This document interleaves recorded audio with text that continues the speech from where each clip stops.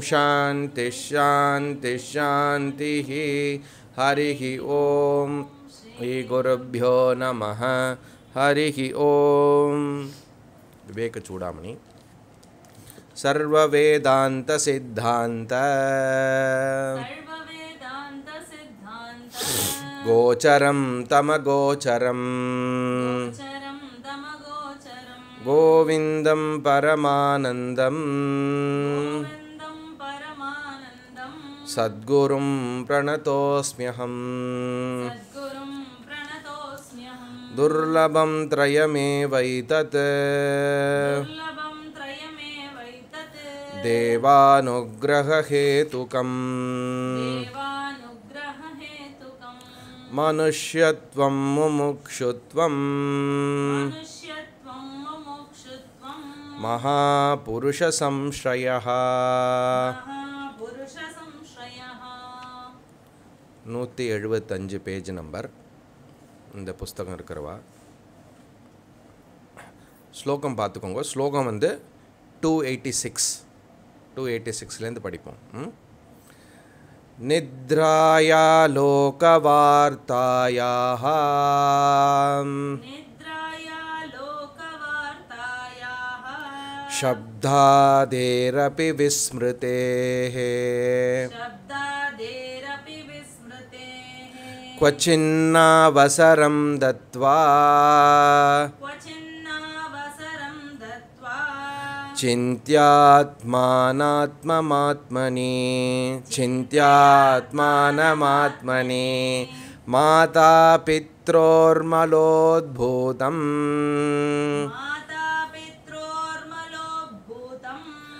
मलमांसमयं वपुः। त्यक्त्वा चाण्डालवद्दूरम्।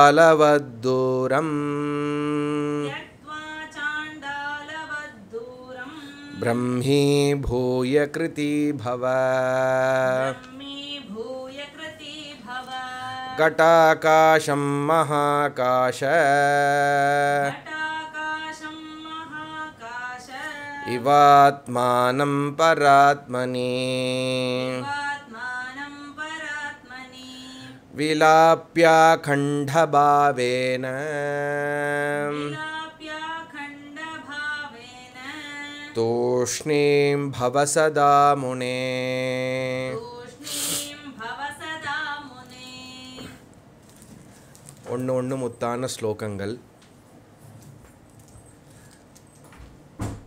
ஸ்ரவணாதி ஞான யோகமானது வந்து சிரவண மனன நிதித்தியாசனம் அதற்கு முன்னாடி நம்ம எப்படி விவேக சூடாமணியில் பார்த்துட்டு வரோமோ?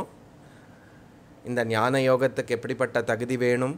சாதன சதுஷ்டய சம்பன்ன அதிகாரித்துவம். அப்போது அந்த கர்ணத்தோடைய பக்குவம் அந்த கர்ண அந்த கர்ணத்தோடைய நுட்பம் விஷாலத்துவம் வந்து இந்த ஞானத்தை ரிசீவ் பண்ணுறதுக்கான தகுதியை நமக்கு கொடுக்கறது. அறிவை அடையக்கூடிய விஷயமாக நமக்கு கரணமாக அமையிறது நல்லதாக. எந்த விதமான தடையற்ற ஞானமானது நமக்கு சம்பாதிக்க அல்லது இருக்கிற விஷயத்தை இருக்கிறபடி புரிஞ்சுக்கிறது. ஞானத்தை சம்பாதிக்கிறது ஞான பிராப்திகி அப்படின்னு சொல்லும்போது அறியாமையில் எது இருக்கிறதோ அதை வேறொன்றாக நினைத்து கொண்டு இருக்கிறது வந்து நீங்கி விடுறது. அதனால எது இருக்கிறதோ அது ஆமாம் அப்படின்னு புரியுறது அவ்வளோதான் ஸோ வெளியிலேருந்து ஒரு விஷயத்தை அடையிறதோ இகலோக பரலோக பிராப்தி மாதிரி ஒரு பலனை ஒரு விஷயத்தை அடையிற மாதிரியோ இங்கே கிடையாது. என்ன? ஞானமானது என்னது? ஆல்ரெடி நான் என்னுடைய நேச்சர் என்னுடைய ஸ்வரூபம் எப்படி இருக்கின்றேனோ அஜ்ஞான காலத்திலும் அதை உணர்வது தான் ஞானம். அப்படிங்கிறத நம்ம பார்த்துட்டு வரோம். அதில் சிரவண மனனம் முடித்த ஞானியானவன். சிரவணம் மனனம் நீண்ட காலம் குருவிடத்தில் இந்த வேதாந்த விசாரத்தை மேற்கொண்டு அந்த வேதாந்த தாத்பரியத்தை நிச்சயம் செய்து அந்த நிச்சயப்பட்ட செய்தப்பட்ட ஞானத்தில் புத்தி அளவில் என்ன பிரதிபந்தம் அப்படின்னா ஏகப்பட்ட சந்தேகங்கள் சம்சயங்கள் வரும். ஏன்னா அனுபவமானது மாறப் போகிறதில்லை அனுபவத்துக்கும் இதற்கும் அப்படியே இருக்க போகிறது அதில் என்ன சந்தேகம் ஏற்பட்டாலும் குரு இடத்தில் அதை தெளிவு செய்து கொண்டு அந்த ஞானத்தை சம்சய அல்லது சந்தேகமற்ற ஞானமாக உறுதி செய்யக்கூடிய ஞானமானது மனநம்ங்கிற பயிற்சி. கடைசியாக செய்யக்கூடியது தனிமையில் இருந்து பொதுவாக தனிமைன்னு சொல்லுவோம். ஏன்னா அது அப்படிப்பட்ட எக்ஸசைஸ் நிதித்தியாசனமானது அடைந்த ஞானத்தை மீண்டும் மீண்டும் கொண்டு வந்து அதை ஞாபகப்படுத்தி அது மயமாகவே இருந்து அந்த ஞானத்தில் ஊறுவது அப்படின்னு பார்த்தோம் இல்லையா? அது பிரம்ம தத்துவமசி பாவயாத்மனி. என்னுடைய ஸ்வரூபம் என்னன்னு ஒரு ஒரு க்ஷணத்திலும் ஒரு ஒரு விவகாரத்தில் இருந்தாலும் அந்த விஷயத்தை மறந்து போகாமல் அப்படிங்கிற மறந்து போகாமல் அப்படின்னா அந்த விவகாரத்தில் இருக்கும்போது எதெல்லாம் வந்து இந்த ஞானத்துக்கு விரோதமான வாசனாவானது தடையாக இருக்கிறதோ அல்லது என்னுடைய ஸ்வரூபத்துக்கு விரோதமாக எது அப்படின்னா என்ன பார்த்தோம்? அஜ்ஞானம் பந்தம் என்னன்னு பார்த்தோம் அப்படின்னா அனாத்மனி ஆத்ம புத்தி இதி மதிஹி. அனாத்மாவை அல்லது இந்த உடம்பு மனசு அப்படிங்கிற விஷயத்தை இந்த தேகத்தை நான் என்று கருதுவது அப்படின்னு நினைத்து கொள்வது. அதுதான் அஜ்ஞானம் அப்படின்னு பார்த்தோம். இப்போ அந்த அஜ்ஞானம் ஞானத்தினால நீக்கப்பட்டாலும் இந்த அஜ்ஞான வாசனையானது மீண்டும் மீண்டும் மனதில் இருக்கக்கூடிய அந்த மெக்கானிக்கல் பார்ட்னு சொல்லுவோம். பழக்கப்பட்டதுனால அது வந்து அதே விஷயத்தை மீண்டும் மீண்டும் உற்பத்தி எண்ணங்கள் ரூபமாக வரத்துக்கு நமக்கு சான்ஸ் இருக்கிறது. அது வந்து எண்ணங்கள் ரூபமாக வரும். சில நேரத்தில் அது பேச்சில் வெளிப்படும். சில நேரத்தில் அது ஆக்ஷன்லேயும் வெளிப்பட்டுடும். அது எப்படி நமக்கு தெரியறது அப்படின்னா அஃப்கோர்ஸ் காம குரோத லோப மோக ராகத்வேஷாதிகள் இந்த இந்த விற்பி எல்லாம் எது வாசனாமயமாக அமைந்திருக்கிறதோ வாசனமாக வாசனாவாக பதிந்திருக்கிறதோ அது வந்து இந்த ஞானத்துக்கு அல்லது என்னுடைய பிரம்மத்துவம் அகம் பிரம்மாஸ்மிங்கிற ஞானமானதுக்கு ஆப்போசிட்டாக அகம் ஜீவஹா அப்படிங்கிற விஷயத்தை வந்து கொண்டு வரது மூலியமாக இதை விபரீத பாவனா என்று சொல்லப்படுகிறது. அல்லது எந்த ஞானத்தை அடைந்து அது மனதில் பலனாக அது எக்ஸ்ப்ரெஸ் ஆகாமல் தடப்பட்டு விடுகிறதோ அது எதனால் அப்படின்னா விபரீத பாவனானால் அல்லது வாசனானால். அந்த வாசனாக்ஷயம் பண்ணுறதுக்கு ஏகப்பட்ட நிறைய விதமான ஸ்லோகங்களை பார்த்தோம். விதவிதமான வாசனையை பார்த்தோம். அந்த வாசனையை வந்து எப்படி வந்து நம்ம அதை வந்து சரி பண்ணணும்? திருப்பி மீண்டும் மீண்டும் அறிவில் ஞானத்தில் அதில் நிலைத்து நிற்பது மூலியமாக அதில் விசாரம் பண்ணுவது மூலியமாக அதே சிந்தனையாக இருப்பது மூலியமாக இந்த அதற்கு விபரீதமாக வரக்கூடிய வாசனை அல்லது நான் I am the so and so இந்த அகங்கார விருத்தின்னு சொல்லப்படுறது. நான் நான் இந்த உடம்பு அதற்கு சம்பந்தமான விருத்திகள். நான் இந்த மனசு அதற்கு கனெக்டடான எண்ணங்கள். அல்லது அதற்கு கனெக்டான நினைவுகள். இப்படி எல்லாம் வரதுனால என்ன ஆயிடுறது அப்படின்னா என்னுடைய ஸ்வரூபத்திலிருந்து நேச்சுரலாக என்ன ஆகிறது அந்த மனமானது அப்படி ஸ்லிப் ஆகிற மாதிரி ஆகி நேச்சுரலாக வந்து அந்த சம்சாரத்தில் உழன்று கொள்கிற மாதிரி ஆயிடுகிறது. அதனால் என்ன ஆகிடுறது அறிவு அடைந்த பிறகும் சில நேரத்தில் வந்து வெளிப்படுறது. அதனால் என்ன தவறாக வெளிப்படுறது? அதனால் என்ன சொல்லப்படுறது அப்படின்னா ஞானத்துக்கு பிறகு கொஞ்ச காலம் இந்த ஞானத்தை நிஷ்டையாக்குவதற்கு நிதித்தியாசனம் புரிய வேண்டும். அல்லது ஆத்ம தியானத்தை புரிய வேண்டும். ஏனென்றால் ஞானம் அஜ்ஞானம் தடையில்லை. ஆனால் அந்த வாசனை அஜ்ஞான வாசனா எது? நான் அனாத்மா. நான் இந்த உடம்பு மனசுங்கிற வாசனையானது விபரீத பாவனா வந்து இந்த ஞானத்துடைய பலத்தை. ஞானத்துடைய பலன் எப்படி வெளிப்படும்? மனதில் ஏற்படக்கூடிய எண்ணங்கள் மூலியமாக அதில் இருக்கக்கூடிய ஒரு ஸ்வதந்திரம். எல்லா விதத்திலையும் எல்லா இடத்துலையும் எல்லா நிகழ்வுகளையும் நான் பாதிக்கப்படாமல் அதிலிருந்து வேறுபட்டு அதே நேரத்தில் அதில் முழுமையாக ஈடுபாடுடன் சுதந்திரமாக இருக்கக்கூடியது ஞானத்துடைய வே ஞானத்துடைய சுதந்திரம் வெளிப்பாடு அப்படின்னு புரிஞ்சுக்கிறோம். ஞான பலன்னு புரிஞ்சுக்கிறோம். புரியுறது இல்லையா? அப்போது இந்த விஷயத்தில் மீண்டும் மீண்டும் நமக்கு தடையானது ஏற்படுறது எதனால் அப்படின்னா இந்த வாசனானாலன்னு உறுதிப்படுத்தி அந்த வாசனாவை எப்படி தீர்க்கணும் அப்படின்னு சொன்னார். அது எப்படி சொன்னார் அப்படின்னா ஸ்வ அத்தியாசா அபனயம் குரு அப்படின்னார். அல்லது அனாத்மா நான் என்கிற அந்த தவறான வாசனை முழுமையாக நீக்கிவிடு. நிஷேஷா நிரஸ்ய அப்படின்னு சொன்னார். அது எப்படி? விலாப்பிய அகண்ட பாவேன. அப்போ நான் அகண்டமாக பிளவுபடாத சைத்தன்ய வஸ்து பிரம்ம வஸ்து அப்படிங்கிற அந்த ஞானத்தை மீண்டும் மீண்டும் மனதில் கொண்டு வந்து ஆத்மானம் பரமாத்மனி விலாப்பிய நான் அந்த பரமாத்மா தான் நான் அந்த பிரம்ம சைத்தன்யம் தான். இருக்கிறது ஒரு ஒரு சைத்தன்ய வஸ்து தான் அதுதான் நான். இரண்டாம் ஒரு வஸ்து கிடையாது. எல்லாமே என்னிடத்தில் ஏற்படுகின்ற தோற்றமே. அதற்கு உண்மையான இருப்பு கிடையாது. ஜெகத் மித்யா உடம்பு மனசு உடுப்பில் எல்லாமே மித்யா. அப்படின்னு சொல்லப்படுறது. அப்போது எங்கெல்லாம் நமக்கு டிரான்சாக்ஷன் ஏற்படுறதோ அங்கே வந்து அகங்காரமானது பயன்படுகிறது. இல்லையா? அகங்காரம் இல்லாமல் நேச்சுரலாக உயிரோடையே இருக்க முடியாது. இல்லையா? அப்போது மனசு செயல்படுவது மூலியமாக இந்திரியங்கள் ஸ்தூல சரீரம் மூலியமாக எல்லா விதமான விவகாரம் நடக்கிறது.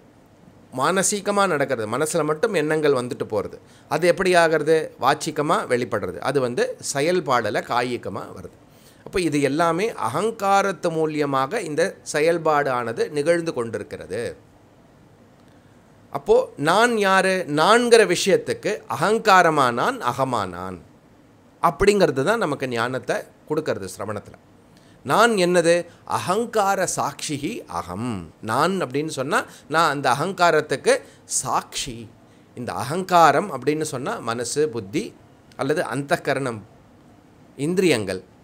அப்புறம் ஸ்தூல சரீரம். இது எல்லாத்துடைய சேர்க்கை இது எல்லாத்துடைய கூட்டம் தான் அகங்காரம் என்று கூறப்படுகிறது.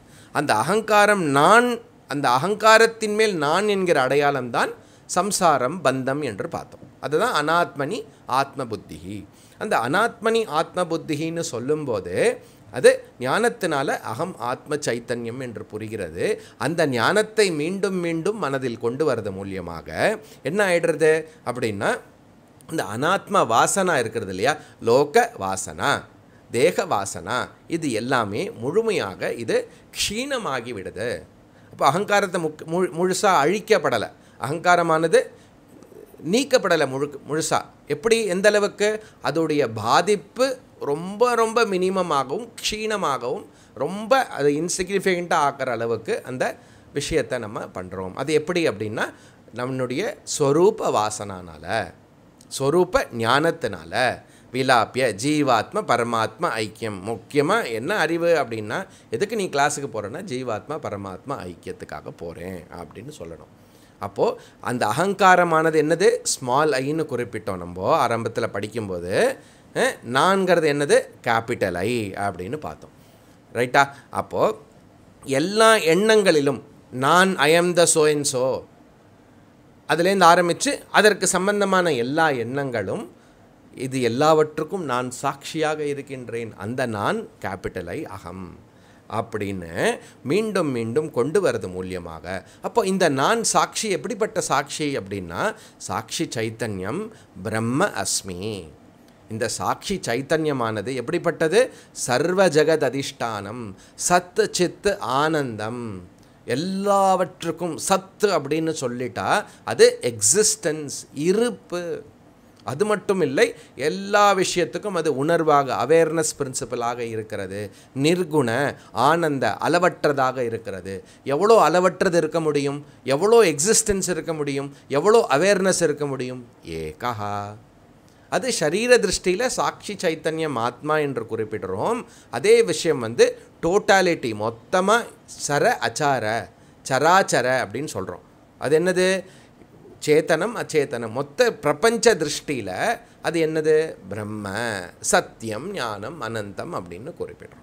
அப்போ நான் அந்த சாட்சி வந்து சத்தியம் ஞானம் அனந்தம் பிரம்ம அஸ்மி.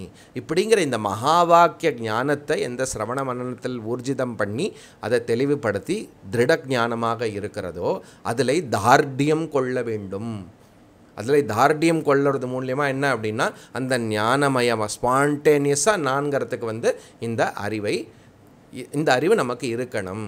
அதற்கு மீண்டும் மீண்டும் என்ன எந்த ஒரு காரணத்தினால நம்மளுடைய விவகாரத்தில் எந்த எந்த ஆசிரமத்தில் இருந்தாலும் சரி கிரகஸ்தத்தில் இருந்தாலும் வானப்பிரஸ்தத்தில் இருந்தாலும் ஏ சந்நியாசாசிரமத்தில் கூட இருந்தால் கூட எந்த ஒரு காரணத்தினால இந்த விவகாரம் உலகிய விவகாரத்தினால உலகிய ஈடுபாடுனால இந்த இந்த ஸ்வரூப விஷயத்தை இந்த ஞானத்தை வழுக்கி விடாமல் அல்லது இது வந்து ஸ்லிப் ஆகாமல் பார்த்துக்கொள் மீண்டும் மீண்டும் இந்த அறிவை மனதில் கொண்டு வா அப்படிங்கிறது.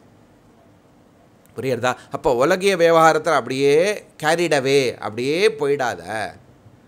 ஞான நிஷ்டை ஆகார மட்டும் என்ன? இதை ஞாபகப்படுத்திக்கொள். மீண்டும் மீண்டும் மனதில் பிரம்ம தத்துவமசி பாவயாத்மனி அப்படின்னு எப்படி சொன்னாரோ அதை மீண்டும் மீண்டும் கொண்டு வா. அப்போ இந்த அகங்காரமானது க்ஷீணம் அஃபெக்டே ஆகாத அளவுக்கு க்ஷீணமாக்கின வரைக்கும் இந்த வாசனாக்ஷயம் பண்ண வேண்டும். ஆனால் இதோடைய முடிவு என்னது? ரொம்ப சிம்பிள் நான் பிரம்மன் ஆத்மான்ட்டா. அந்த ஆத்மா சச்சிதானந்தம் சத்தியம் ஞானம் அனந்தம்னு குறிப்பிடும்போது எனக்கு ஏதப்பா வாசனா? எனக்கு ஏது எண்ணம்? புரியுறதா அது வந்து ஞான நிஷ்டா என்று குறிப்பிடுறது. அதனால் அது ஆகாரம் மட்டும் அது நமக்கு அதுதான் தார்டியம்னு சொல்லப்படுறது. நிர்குண ஆத்ம சைத்தன்யம் அகம். அதனால் எல்லாம் இது எல்லாம் எதற்காக பண்ணுறது ஞாபகம் இருக்கா? அந்த கதை கதை சொன்னேன். சிஷ்யனானவனுக்கு வந்து தங்க செயின் தொலைஞ்சு போகிறது தேடி தேடி தேடி குரு கிட்ட போய் நமஸ்காரம் பண்ணுறான் அது இங்கே தான் இங்கேயோ தொங்கின்னு இருக்கிறது தெரியாமல் இப்படி பார்க்க முடியல. இல்லையா?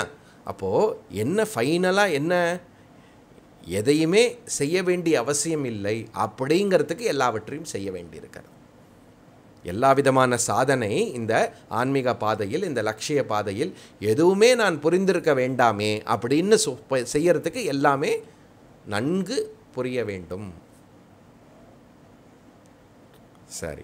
அப்போது இந்த இப்படிப்பட்ட அதுதான் சொல்கிறாருங்க அது மனதில் திரும்பி திரும்பி ஞான விஷயத்தை சிரவண மன்னாதிகள் விஷய இடத்துல எடுத்த ஏற்பட்ட ஞானத்தை மீண்டும் மீண்டும் கொண்டு வருவனே அவனே எப்படி? சதா முனேஹே பவ. அப்படிப்பட்டவன் முனேஹே அப்படிப்பட்டவன் ஜீவாத்ம பரமாத்மா ஐக்கிய ஞானத்தை மனதில் தாரடியம் பண்ணி அதை நிச்சயம் பண்ணி நிஷ்டையாக்கினவன் என்ன பண்ண வேண்டும் அதற்கு பிறகு அப்படின்னா தூஷினியும் பவ. பேசாமல் இருக்கணும். வேறு எதுவும் பண்ண வேண்டிய அவசியம் இல்லை. எதை கேட்டு என்ன பார்த்துட்டு இருக்கேன்? இரநூத்தி எண்பத்தி எட்டு. அதான் போன கிளாஸில் பார்த்தோம் இல்லையா? அப்போது தூஷ்ணீம் பவ அனாவசியமான பேச்சோ அனாவசிய விதமோ தேவையில்லை. எவ்வளோ தேவையோ எவ்வளோ எந்த இடத்துல எந்த சுச்சுவேஷனில் இருக்கோமோ அதற்கு ஏற்ற மாதிரி அந்த விவகாரத்துக்கு ஏற்ற மாதிரி பேசினால் ரெஸ்பாண்ட் பண்ணால் போதும். அப்படிங்கிற மாதிரி சொல்கிறார் மௌனாத் முனேஹே. அப்படின்னு சொல்லணும். புரியுறதா? அது வந்து இந்த டோட்டலாக இந்த விபரீத பாவனா அப்படிங்கிற விஷயத்தை பார்த்து முடித்தோம் ஃபர்தராக என்ன சொல்கிறாருங்கிறது இரநூத்தி எண்பத்தொம்போதில் பார்க்கலாம் ஸ்வப்பிரகாஷமதிஷ்டானம் स्वप्रकाशमधिष्ठानम् ஸ்வயம் பூய சதாத்மனா स्वयं भूय सदात्मना பிரம்மாண்டமபி பிண்டாண்டம் त्यज्यतां मलभाण्डवत् त्यज्यतामलभाण्डवत् சரி அப்போது இங்கே என்ன சொல்கிறாரு அப்படின்னா சதா ஸ்வப்பிரகாஷம் ஸ்வப்பிரகாஷம் அதிஷ்டானம் ஸ்வயம் பூய ஸ்வப்பிரகாஷம். நான் எப்படிப்பட்டவன்? என்னுடைய தன்மையை மீண்டும் மீண்டும் ஞாபகப்படுத்திக்கொள். சொன்னேன் இல்லையா? அகங்காரம் என்னது? என்னிடத்தில் ஏற்படக்கூடிய விஷயம். நான் அகங்காரம் இல்லை. நான் அகங்காரத்துக்கு சாட்சி. அப்போது சுகம் துக்கம் இது எல்லாம் எல்லா விதமான எண்ணங்கள் அதோடைய எண்ணங்களுடைய மாற்றங்கள் எல்லாம் எப்படி? இது எல்லாம் அகங்காரத்தை சார்ந்தது. புரியுறது இல்லையா? இது எல்லாமே அகங்காரத்தை சார்ந்தது. அப்போது எந்த விதமான கஷ்டம் வந்தாலும் எந்த விதமான சுகம் வந்தாலும் எப்படி இருக்கணும்? அது எனக்கு இல்லைன்னு புரியணும். ஏன்?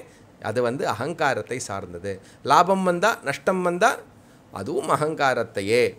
அப்போது எந்த விதமான இந்த உடம்பு மனசு உட்பட எதிலையும் பற்று கொள்ளாதே. இல்லையா? எதிலையும் பற்றுன்னா இந்த இடத்துல என்ன அர்த்தம்? எது அதில் அடையாளம் கொள்ளாதே. நான் என்கிற அந்த பாவத்தை எடுத்துவிடு. அகம்பாவத்தை எடுத்துவிடு அப்படின்னு சொல்கிறது அப்போது இந்த உடம்பு மனசை பொறுத்த மட்டும் நான் என்கிற அடையாளம் வரும். உடம்புக்கு வெளியில் இருக்கக்கூடிய விஷயத்தில் எனது என்கிற அடையாளம் ஏற்படுகிறது. இந்த ஐடென்டிஃபிகேஷன் இருக்கு இல்லையா? இந்த ஐடென்டிஃபிகேஷனை எடுத்துரும். நான்கிற ஐடென்டிஃபிகேஷன் நான்கிற அடையாளம் அதுலேருந்து எடுத்து எதில் வைக்கணும்? அகம் சாட்சி சைத்தன்யம் ஆத்மா என்கிற அதில் பொறுத்து அதுதான் நீ உண்மையான நீ. விச்சது எல்லாமே கல்பித்தம்னு சொன்னார். இது எல்லாமே எப்படி? நோஷனல் மதிஹி நோஷனல் அதை எடுத்து விடு. எப்படி? ஜலத்தை விட்டுட்டு அலை அப்படின்னு உறுதியாக அதை சொல்கிறோமோ புரியுறதா அதனால் நான் என்பது ஆத்மா அப்படின்னு ஆயிடுத்து அப்படின்னா எந்த சுகமும் எந்த துக்கமும் எந்த லாபமும் எந்த நஷ்டமும் பாசிட்டிவ் நெகட்டிவ் எல்லாம் பிரித்து பிரித்து வச்சுருக்கோம்ல. எல்லா விதமும் எனக்கு கிடையாது. இது எல்லாமே எனக்கு எப்படி இருக்கும்? அப்படியே எல்லாமே ஒரு என்டர்டெயின்மெண்ட்டாக இருக்கும். ஆனால் அகங்காரம் எப்படிப்பட்டது? இயல்பாக மனசு புத்தி ஜெகத்து கூட இது எல்லாத்தையும் உரையாடுறதுனால நேச்சுரலாக அங்கே வந்து அட்டாச்மெண்ட் இருக்கும். நேச்சுரலாக பற்று இருக்கும். நேச்சுரலாக எல்லா விதமான சுக துக்கங்கள் ராகத்வேஷமானது நேச்சுரலாக ஏற்படும்.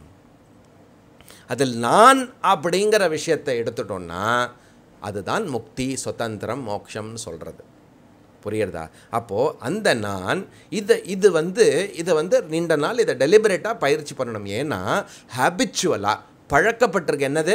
நான் இந்த உடம்பு மனசுன்னு ஆழமாக பழக்கப்பட்டிருக்கு. அதனால் இதெல்லாம் இவர்களெல்லாம் என்னுடையவர்கள். இதெல்லாம் என்னுடையது. அப்படிங்கிறது வந்து நேச்சுரலாக ஹேபிச்சுவலாக இருக்குது எப்போ எவ்வளோ நாளாக இருக்குது ஏ அனாதி காலத்துலேருந்து இருக்கிறது. அதை இப்போ டெலிபரேட்டாக இந்த பயிற்சி பண்ணி எடுக்கிறோம். புரியுறதா அந்த ஞானத்துடைய ஸ்ட்ரெங்க்த்னால ஞானத்துடைய பலத்தில் இதை பண்ணுறோம் நம்ம அதனால் இது நம்ம பண்ணிட்டோமே ஆனால் என்ன? இந்த அகங்காரம் என்னை பாதிக்காது. நான் எதனிலையும் பாதிக்கப்படாதவன்னு சொல்ல போகிறார் அப்போது அந்த நான் அந்த ஆத்ம சைத்தன்யம் அந்த பிரம்மாத்மா எப்படிப்பட்டது? ஸ்வப்பிரகாஷா இல்லையா? அகங்காரம் எனக்கு அனுபவத்தில் இருக்கிறது. இல்லையா? அதற்கு நான் சாட்சியாக இருக்கின்றேன். அப்போ நான்கிறது வந்து எப்படி வெளிப்படுகிறது? நான்கிறது எதை வச்சு தெரிந்து கொள்வது ஏய் எதை வைத்தியும் தெரிந்து கொள்ள முடியாது. தெரிந்து கொள்ள வேண்டாம். ஏனென்றால் அது செல்ஃப் எவிடன் செல்ஃப் எஃபல்ஜன்ட் சொப்பிரகாஷம் ஸ்வயம் ஜோதிகி தன்னைத்தானே வெளி வெளிப்படுத்தி கொள்ளுகிறது. அது இல்லாத காலம் கிடையாது. இல்லையா? அதை சார்ந்து தான் எல்லாமே இருக்கின்றது. எது இருக்கு எது இல்லைன்னு கூறுவதற்கு இந்த சைத்தன்யம் வேண்டும். அப்படிப்பட்ட சைத்தன்யம் ஸ்வப்பிரகாஷம் நித்யா ஸ்வயம் ஜோதிகி அப்படிலாம் சொல்கிறது அப்புறம் எப்படிப்பட்டது? அதே கண்டினியூ பண்ணார் பண்ணுங்க அதிஷ்டானம். அதிஷ்டானம்னா என்ன? அதுதான் ஆதாரம் அதுதான் வஸ்து அதுதான் சப்ஸ்டன்ஸு அப்போது இருப்பு எக்ஸிஸ்டன்ஸ் அது. அப்படின்னு சொல்லிட்டா எப்படி வந்து அலை இருக்கிறதுக்கு என்ன இருக்கணும்? ஜலம் எப்படி வஸ்துவோ ஜலம் எப்படி சப்ஸ்டன்ஸோ எப்படி ஜலம் அதிஷ்டானமோ அந்த அதிஷ்டானம் நான். அப்போ இந்த அகங்காரமானது தோன்றுவதற்கும் இயங்குவதற்கும் எது அதிஷ்டானம்? அகம். அப்போ அகங்காரத்தோடைய வஸ்து என்ன? நான். எப்படி அலையில் ஜலத்தை தவிர வேறு எதுவும் இல்லையோ அந்த அகங்காரத்துடைய சத்து சித்தாக நான் தான் இருக்கின்றேன். புரியறது இல்லையா? அப்படி புரிஞ்சுக்கணும். அதிஷ்டானம். அப்புறம் என்னது? ஸ்வயம்பூயா இல்லையா? ஸ்வயம்பூயா ஸ்வயம். இந்த ரொம்ப முக்கியம் இது. ஸ்வப்பிரகாஷ அதிஷ்டானம் அப்படிங்கிறது வந்து ஸ்வயம்பூயா அது ஆல்ரெடி அப்படி இருக்கிறதுன்னு உணரு. தனியாக மாறுறதில்லை. இவ்வளோ சாதனைலாம் பண்ண சொல்லியிருக்கோம். ஆரம்பத்துலேருந்து என்ன? சாதனை சதுஷ்டயம் அதற்கு முன்னாடி நல்ல தர்மமாக இருக்கிறது. ம், கர்மயோகம் உபாசனா யோகம் இல்லையா? அதுக்கு இதெல்லாம் பண்ணி ஒரு நாள் வந்து நான் வந்து பிரம்மனா ஆயிடுவேன். அப்படி இல்லை. ஸ்வயம்பூயா எப்பொழுதுமே நீ பிரம்மன் தான் ஆத்ம சைத்தன்யம்தான்னு உணரு எப்படி உணரணும்?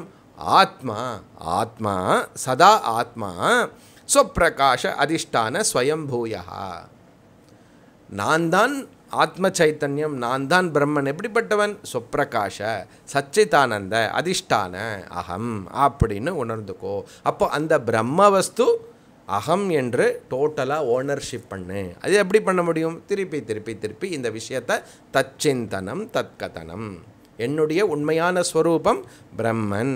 உடம்பு மனசில் அகங்காரம் அல்ல.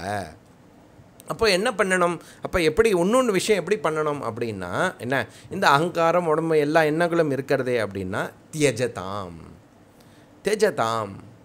எப்படி தெஜதாம்? எப்படி நம்ம தெஜதாம் பண்ணோம்? தெஜதாம்னா எடுத்து விடு நீக்கி விடு தியாகம் செய்து விடு. என்னத்தை தியாகம் செய்யறதுங்க அப்படின்னா நான் அகங்காரம் என்கிற தவறான அந்த எண்ணம் ஏற்படுறது இல்லையா? அதை தியாகம் செய்துவிடு நான் ஆத்மா பிரம்மன் என்று மீண்டும் மீண்டும் கொண்டு வா. எப்படி? அப்படின்னா மல பாண்டவது.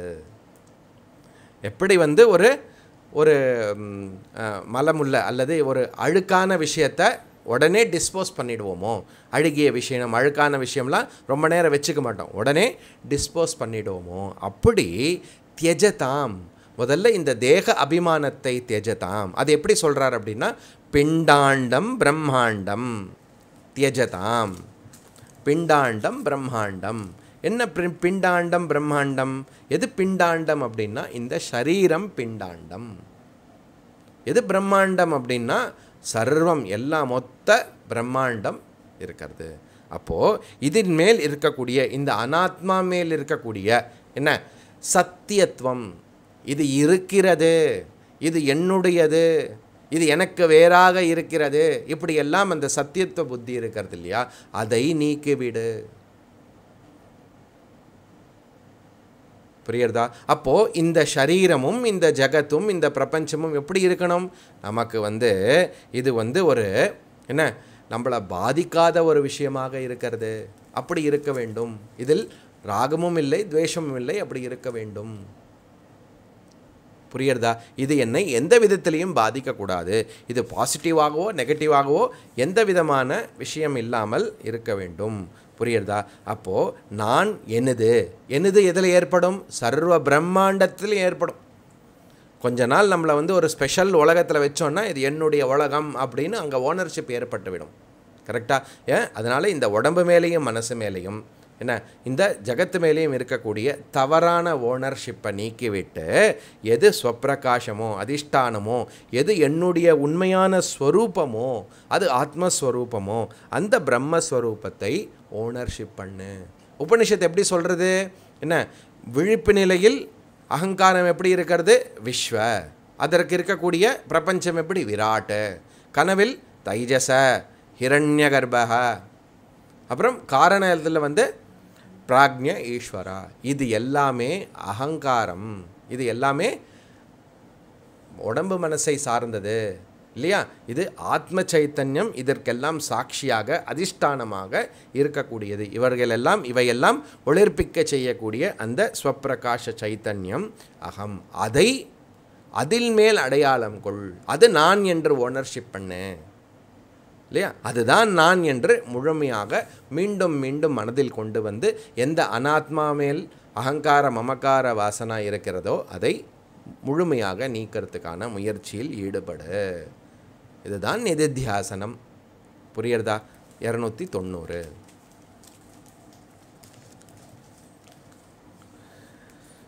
சிதாத்மனி சதானந்தே चिदात्मनि सदानन्दे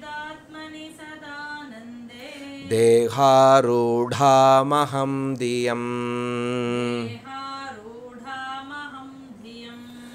निवेश्य लिङ्गमुत्सृज्य केवलो भव सर्वदा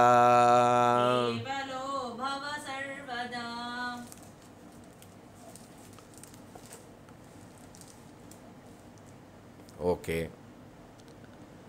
அப்போது ஒரு ஒரு பெரிய சாது. அவர் என்ன பண்ணுறார் அப்படின்னா அவருக்கு வந்து ரொம்ப ஹிமாலயெல்லாம் போயிட்டு அதெல்லாம் நம்ம கதையெல்லாம் கேட்டிருக்கோம்ல எல்லாம் அங்கெல்லாம் போயிட்டு இருப்பார் அப்படின்னு. அந்த இடத்துல ஒரு பெரிய வைரம். அவ்வளோ ப்ரெஷஸாக இருக்கிறது. அது அவருக்கு கிடச்சிருக்கு. இல்லையா? அப்போது அதை பார்த்துட்டு ஒருத்தன் பின்னாடியே போயிட்டு சுவாமி எனக்கு அதை கொடுத்துருங்கோ. ஓகேப்பா சரி அப்படின்னு கொடுத்துட்டார். இவன் வாங்கின்னு வந்தவன் இப்படி போகிறான் என்னடா அது? நம்ம கேட்ட உடனே கொடுத்துட்டாரே. முதல்ல சந்தோஷமாக தான் இருக்குது நான் உங்கள்கிட்ட ஒரு விஷயம் கேட்குறேன் வச்சுக்கோங்க. ஒரு லட்ச ரூபா கொடுங்கோ. அப்படின்னா ஆ எடுத்துக்கோங்களேன். அப்படின்னு ரெண்டாவது யோஜனை இல்லாமல் டக்குன்னு கொடுக்குறேன்னா என்ன? என்ன கன்க்ளூட் பண்ணணும் அதுலேருந்து? அட்லீஸ்ட்டு ஒரு கோடியாவது உங்கள்கிட்ட இருக்கணும். அட்லீஸ்ட் பத்து லட்சம். அதோ கணிசமாக அதை விட பல மடங்கு உங்கள்கிட்ட இருக்கணும் அப்படின்னு சொல்லப்படும். அல்லது பொதுவாக அதை விட அதிகமாக ப்ரெஷியஸாக பொக்கிஷமானது உங்கள்கிட்ட இருக்கணும். அல்ல அதை விட வேல்யூபிளாக உங்கள்கிட்ட ஒன்று இருந்ததுன்னா இதே எடுத்துக்கலாம். இருக்கலாம் இல்லாமல் போகலாம். புரியறது இல்லையா? ஒரு விஷயம் இது வேல்யூபிள் வாவ் அப்படிலாம் இருக்கு இல்லையா? இது எப்படி ஏற்படுறது? அதற்கு அவ்வளோ அவ்வளோ ப்ரெஷியஸாக இருக்கிறது. அப்போது இந்த பிரம்ம ஞானம் பிரம்ம வித்யா எப்படிப்பட்டது அப்படின்னா என்ன? இதோட ஒரு ப்ரெஷியஸ் விஷயம் கிடையாது. இல்லையா? அது நான் உணர்ந்த பிறகு அண்டம் பிரம்மாண்டம் பேரண்டம் சிற்றண்டம் என்னதான் பிண்டண்டம் என்ன இருந்தால் கூட இதில் எப்படி இருக்கும் இது? இம்பார்ட்டண்ட் தான். ஆனால் இருந்தால் இருக்கலாம் இல்லாமல் இருக்கலாம். புரியுறதா அந்த பாவனா எப்போ ஏற்படும்னா அகம் சர்வம். இதம் சர்வம் எதயம் ஆத்மா நான் எப்படிப்பட்டவன்? எல்லா எல்லா விஷயத்துக்கும் நான் தான் அதிஷ்டானம். எல்லாம் நான் தான். அப்படிப்பட்ட நான் தான் என்ன? உண்மையான நான் எப்போ எனக்கு தெள்ள தெளிவாக இந்த அறிவு வருதோ இந்த ஜெகத்தானது எப்படி இருக்கும் எனக்கு? சொன்ன மாதிரி அது வந்து ஒரு விஷயமா ஒரு சாதாரணமான ஒரு விஷயமா இருக்கும். அதனால் என்ன?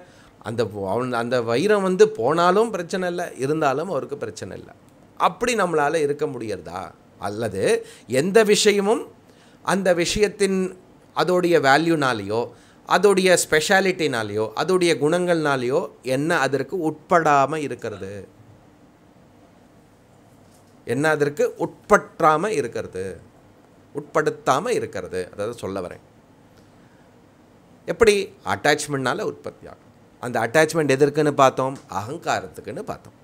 எனக்கு நான்கிறது எப்படி? சாட்சி சைத்தன்யம் பிரம்மன். எப்படிப்பட்டது? ஏ அசங்கஹா அசங்கஹா எப்படி? ஆகாசம் போல. ஆகாஷம் எப்படிப்பட்டது? அசங்கஹா அப்போது அப்படிப்பட்ட நான் அதை அதுதான் நீன் என்று முழுமையாக ஓனர்ஷிப் பண்ணு. அந்த விஷயத்தையே தியானம் பண்ணு. அப்போ நான்கிறது எதை கிளைம் பண்ணணும்? எதை கிளைம் பண்ணணும்? அனாத்மா நான் என்கிற வாசனாவை முழுமையாக தெஜதாம் தேக அபிமானம் தேக வாசனாவை முக்கிய மொழியமாக எடுத்துவிட்டு அது விபரீத பாவனாக இருக்கிறது இல்லையா? அதை நிவர்த்தி செய்துவிட்டு அகம் தீஹி. என்ன சொல்கிறார் ஸ்லோகத்தில்? அகம் தீஹி. அகம் தீஹி அப்படின்னா நான் என்கிற அடையாளம். தேகாரூடகா தேகாரூடகனா ஸ்தூல சரீரம். தேகம் என்றால் ஸ்தூல சரீரம். இப்போ என்ன? எப்படிப்பட்டது தேகாரூடம்? முக்கியமாக ஸ்தூல சரீரம். ஆனால் அடையாளம் எப்படி இருக்கிறது? அதோடைய கனெக்டடாக வந்து physical personality emotional personality intellectual personality அதோட அதோடைய எல்லாத்தையோட சேர்ந்து எப்படி இருக்கிறது? ரிலேஷனல் பர்சனாலிட்டி அப்படின்னா ஐ ஆம் த ஃபாதர் நான் அப்பா அம்மா பையன் அண்ணா தம்பி அக்கா. இது எல்லாம் எப்படி? இது எல்லாம் ஒரு ஒரு பர்சனாலிட்டி கூட நான் அடையாளம் வைத்திருக்கிறேன். அப்போ நான்னா? நான் அப்பா. நான் அம்மா. நான் அண்ணா. நான் அத்தியம்பேர். நான் சம்பந்தி. அதான் மேக்ஸிமம் இதுன்னு நினைக்கிறேன். இல்லையா? அப்போ நான்கிறது இங்கே என்ன சொல்கிறது நம்ம என்ன ஐடென்டிஃபை பண்ணி வச்சுருக்கோம்? கொஞ்சம் யோசிச்சு பாருங்கோ. இவ்வளோ படிச்சிருக்கோமே எல்லாம் பண்ணியிருக்கோமே நான்கிறதுக்கு என்ன தெரியறது நமக்கு? செக் பண்ணி பாருங்கோ. திருப்பி திருப்பி படிங்கோ. நான்கிறதுக்கு வந்து சாஸ்திரம் வேதம் என்ன சொல்கிறதோ உபதேசம் என்னவோ அதுபடி ஆகிறதா? அது மட்டும் படிக்கணும். சிம்பிள் அதற்கு என்னெல்லாம் அந்த படிப்புக்கு என்னெல்லாம் நமக்கு தடையாக இருக்கிறதோ எல்லா தடையும் நீக்கணும். புரியறது இல்லையா? அப்போது என்ன? அதனால் அப்போ நான் அகங்காரம் தாய் தந்தை அண்ணா தம்பி அப்படிங்கிற விஷயத்தில் அந்த பர்சனாலிட்டி நான் தான் தெளிவாக முடிவு பண்ணிட்டேன் அப்படின்னா அதில் ஏற்படுறக்கூடிய எல்லா விதமான கஷ்டம் நஷ்டம் எல்லாம் யாருக்கு? எனக்கு. அது எல்லாம் நீங்கி விடணும் எந்த கஷ்டமும் வரக்கூடாது எப்படியுமே இருக்கக்கூடாது அப்படின்னா அது முடியாது. அது எப்போ பர்மனெண்ட் ஆகும்னா ஞானத்தினால தான் ஆகும். புரியுறதா அப்போது இங்கே என்ன சொல்கிறார் அப்படின்னா அகம் தீஹி தேகாரூடகா நான் என்கிற அடையாளம் ஷரீரத்தின் மேல் அகங்காரத்தின் மேல் அதற்கு சம்பந்தப்பட்ட மமக்காரம் அதற்கு ப சம்பந்தப்பட்ட ரிலேஷன் மேல் அடையாளம் நான் என்று வைத்திருக்கிறேன். அந்த பர்சனாலிட்டி அது நான் அல்ல அது ஸ்ட்ராங்காக வாசனாமயமாக இருக்கிறது. அதை நிவேஷ அதை என்ன பண்ணணும்? அதை நீக்கிவிட்டு அதை ஷிஃப்ட்டு பண்ணணும் அப்படிங்கிறது. இப்போல்லாம் ட்ரெயின் கம்மியாக போயின்னு இருக்கிறது நிறையா எல்லாம் நிறுத்திட்டா. ஆனால் என்ன? ட்ரெயின் போயிட்டே இருக்கும்போது நடுவில் கொஞ்சம் ஸ்லோ ஆகும். ஸ்லோவாகி பார்த்தோன்னா அந்த இடத்துல அந்த டைக் சிக்னல் வந்து அப்படி ட்ராக்கு டக்குன்னு மாறும். இந்த பக்கம் போச்சுன்னா ஜெய்ப்பூர். இந்த பக்கம் வந்ததுன்னா இந்திரபஸ்தம் அதாவது டெல்லி. சப்போஸ் அவன் மாற்ற மறந்துட்டான்னா நேராக வண்டி ஜெய்ப்பூருக்கு போயிடும். அப்படியே எந்த சைடு போயிடும். புரியுறது இல்லையா அப்போது இங்கே நிவேஷ அப்படின்னா அகங்காரத்திலிருந்து ஷிஃப்ட் பண்ணி என்ன நான்கிறது என்னது? சிதாத்மனி. சிதாத்மனி. சிதானந்த ஆத்மனி. சிதானந்தரூப சிவோகம் சிவோகம். ஏன்? சிதாத்மனி சதானந்தகா நீ ஆனந்த ஸ்வரூபமாக சைத்தன்யமாக சச்சிதானந்த ஸ்வரூபம் அப்படிப்பட்ட நாவை ஓணப்பண்ணு மனோபுத்தி ஹங்கார சித்தானி நாகம். ராக மாறி போச்சு. மனசு நான் இல்லை புத்தி நான் இல்லை. இல்லையா? நான் எது? நான் அகங்காரம் அல்ல. நான் சதானந்த ஆத்மனி. இல்லையா? நான் அப்பாவில்லை. எவ்வளோ வாட்டி நான் அப்பா அப்பா அப்பா அப்பா. நான் தம்பி தம்பி தம்பி தம்பி. நான் வந்து பையன் பையன் பையன் பையன். நான் சம்பந்தி சம்பந்தி சம்பந்தி. புரியுறதா? இன்னும் கொஞ்சம் வேடிக்கையாக சொன்னேன் I am the daddy I am the mummy இப்படிலாம் இப்படிலாம் நிறைய பண்ணியிருப்போம். அது என்ன பண்ணணும்? ஐ எம் நாட் த அப்பா ஐ எம் நாட் த அம்மா. இந்த இந்த பர்சனாலிட்டி எல்லாமே என்ன? இது எல்லாம் எனக்கு இது என என்னுடைய இதற்கெல்லாம் சாட்சி நான் நான் அதல்ல அப்படின்னு புரிந்துட்டே வரணும். அப்போது இந்த இந்த இந்த உதாரணம் இருக்குது பாருங்க. டொக்கு டொக்கு டொக்குன்னு ஆணி அடிப்பான். சில நேரத்தில் நன்னா ஆணி அடிச்சிடுவான். ஸ்க்ரூ ஸ்க்ரூ வந்து பண்ணுறதுக்கு முன்னே என்ன ஆணி அடிச்சுட்டு கடைசியில் ஸ்க்ரூ பண்ணுவான். அப்போ என்ன ஆகிடும் அதை திரும்பி எடுக்கணும்னா எவ்வளோ வாட்டி டொங்கு டொங்குன்னு அடித்தோமோ எவ்வளோ வாட்டி ஸ்க்ரூ பண்ணோமோ அதே அளவுக்கு எஃபர்ட் போடணும். இல்லையா? அப்போது எவ்வளோ ஆழமாக ஜென்மாந்திரமாக இந்த வாசனையானது I am the so in so I am the so in so I am the அப்படின்னு எவ்வளோ ஸ்ட்ராங்காக ஊறி இருக்கு அந்த அளவுக்கு இப்போ எஃபர்ட் போட்டு டெலிபரேட்டாக இந்த இந்த பழைய பழக்கத்தை நீக்க வேண்டும். எப்படி? சிதாத்மனி சிவோகம் சிவோகம். தொடர்ந்து இந்த விஷயத்தை தொடர்ந்து இந்த விஷயத்தில் உழ்ந்து கொண்டிருப்பது தான் வழி. அப்போது வாழ்கா வாழ்நாள் மட்டும் இதை படிச்சுட்டே இருக்கணும் இந்த விசாரம் பண்ணிகிட்டே இருக்கணும். புரியுறதா சதானந்தா அப்போ இந்த எது சதானந்தா இந்த எதெல்லாம் பர்சனாலிட்டி எதெல்லாம் இந்த அகங்கார விஷயத்தில் அதற்கு உட்படாமல் அதிலேருந்து வேறாக ஆனந்த ஸ்வரூபமாக இருக்கிறதோ அது வந்து சதானந்த ஸ்வரூபா அப்புறம் என்ன? அதோடைய ஃபர்தராக என்ன சொல்கிறாருன்னா சொன்னது தான் தேகாரூடகா சொன்னார் லிங்கம் உத்ஸ்ருஜ்ய. லிங்கம் உத்ஸ்ருஜ்யனா எது லிங்கம்? லிங்க சரீரம்னா என்ன? நம்ம பார்த்தோம். சூக்ஷ்ம சரீரம் படிக்கும்போது லிங்க சரீரம்னா சூக்ஷ்ம சரீரம். எது சூக்ஷ்ம சரீரம்னு இப்போ கேட்கக்கூடாது. என்ன? கேட்க மாட்டேன்னு எனக்கு தெரியும். அப்போது எது சூக்ஷ்ம சரீரம்? லிங்க சரீரம் தான் சூக்ஷ்ம சரீரம். லிங்கம் உத்ஸ்ரிஜ்ய.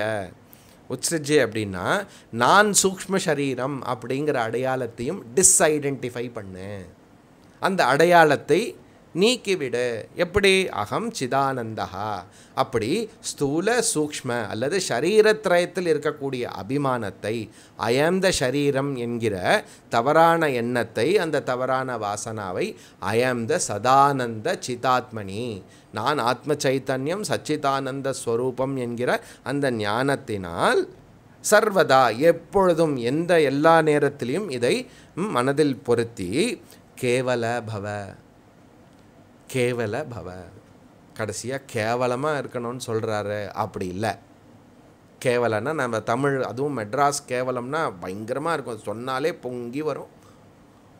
அந்த கேவலம் இல்லை. கேவல அப்படின்னா கேவலம்னா ஆத்மா அல்லது பிரம்மனுக்கு கேவலம் அப்படிங்கிற ஒரு அர்த்தம் இருக்குது கேவலா?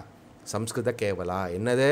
சஜாத்திய விஜாத்திய ஸ்வகத பேத அத்விதீய ஏகம் பிரம்ம ஆத்மா. சஜாத்திய விஜாத்திய ஸ்வகத பேதம் என்னது? படித்து பாருங்க முன்னாடி. தத்பத விசாரத்தில் விவேக சூடாமணியில். இது வந்து நேச்சுரலாக சர்வதா அப்படின்னா எப்போ மட்டும் பண்ணணும்? நான்கிறதுக்கு வந்து சச்சிதானந்தம் அப்படிங்கிறது நேச்சுரலாக வர மட்டும் இந்த பயிற்சியில் ஈடுபடு ஸ்பான்டேனியஸாக வர மட்டும் இதை மீண்டும் மீண்டும் இதில் தியானத்தை மேற்கொள் அப்படின்னு சொல்கிறது ஓகே டூ நைன்டி ஒன் यत्रैष जगदाभासः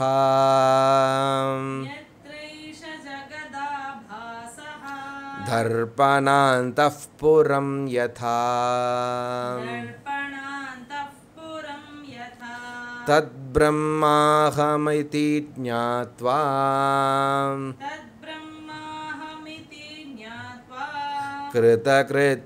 भविष्य ब्यूटिफुल भविष्यसि। जगदाभास। அப்படின்னா என்ன? இந்த பிரபஞ்சமான தோற்றம். இல்லையா? ஏஷகா ஏஷகான்னா பிரத்யக்ஷ அனுபூத்தகா எது எனக்கு முன்னாடி இருக்கிறதோ பிரத்யக்ஷமாக எது இருக்கிறதோ இந்த என்டையர் சிருஷ்டி இந்த என்டையர் யூனிவர்ஸ் ஜெகத் ஆபாச இந்த ஜகத்தான இந்த தோற்றம் இந்த ஜகத்து அல்லது இந்த தோற்றமான இந்த பிரபஞ்சத்தை. எப்படி சொல்கிறார் பாருங்க. எத்திர எத்திரன்னா இந்த இடத்துல சைத்தன்யம் சைத்தன்யம் இன் சைத்தன்யத்தில் அப்படிங்கிற ஒரு அர்த்தம் வருதுங்க சைத்தன்யத்தில் என்ன? தோன்றுகின்ற இந்த பிரபஞ்சம். எப்படி இருக்கிறது? தர்ப்பணாந்தம் புறம் யதா. எப்படி கண்ணாடியில் ஒரு பெரிய நகரம் தோன்றுகிறதோ இமேஜின் பண்ணி பாருங்க கண்ணாடியில் ஃபுல்லாக ஒரு பெரிய சிட்டியே உங்களுக்கு தெரியறது கண்ணாடியில். அப்படி வந்து இந்த சைத்தன்யத்தில் இந்த மொத்த ஜகத்தும் தோன்றுகிறது அப்படின்னு சொல்கிறார் அப்படின்னு புரிஞ்சுக்கோ அப்படிங்கிறத வந்து மீண்டும் மீண்டும் எண்ணிப்பார். என்ன சொல்கிறார் இல்லையா? பொதுவாக நமக்கு என்ன அண்டர்ஸ்டாண்டிங் உலகத்தில் நான் இருக்கேன். இல்லையா? இங்கே அப்படியே ரிவர்ஸ் பண்ணுறேன் என்னில் இந்த உலகம் தோன்றுகிறது? நம்பர் ஒன் எப்படி? கண்ணாடியில் விஸ்வம் தர்ப்பண திருஷ்யமான நகரி துல்லியம் நிஜாந்தர்கதம் புரியுறதா விஸ்வம் தர்ப்பண திருஷ்யா நகரி துல்லியம் விஷ் தர்ப்பணம்னா கண்ணாடி. கண்ணாடியில் தோன்றுகின்ற அந்த நகரம் எவ்வளோ உண்மை? கண்ணாடிக்கு வேறாக ஒரு விஷயம் இருக்கிறதா அங்கே? வெறும் இதை மட்டும் யோசிக்கணும். ஒரு ரெஃப்ளெக்ஷன் இது ரொம்ப சயின்ஸுக்குள்ளே இப்போ போயிட்டு பண்ணக்கூடாது. இந்த உதாரணம் உதாரணம் மாதிரி யோசிக்கணும். இதுக்கு மேலே முன்ன பின்ன வெளியில் போயிடக்கூடாது. தாத்பரியம் மிஸ் ஆகிடும் கண்ணாடி கண்ணாடிக்குள் நகரம். இதை மட்டும் நீங்கள் மனசில் வச்சுக்கோங்க. இந்த நகரமானது கண்ணாடிக்கு வேறாக இருக்கிறதா? இல்லை. இந்த நகரத்தில் ஏற்படக்கூடிய இந்த நிகழ்வு கண்ணாடியை பாதிக்குமா? கண்ணாடியை பாதிக்காது. அங்கே எவ்வளோ எவ்வளோ வஸ்து இருக்கிறது? காட்சி இரண்டாக கண்ணாடி தெரியறது கண்ணாடியில் நகரம் தெரியறது நகரத்துக்குள்ளே எல்லாமே தெரியறது.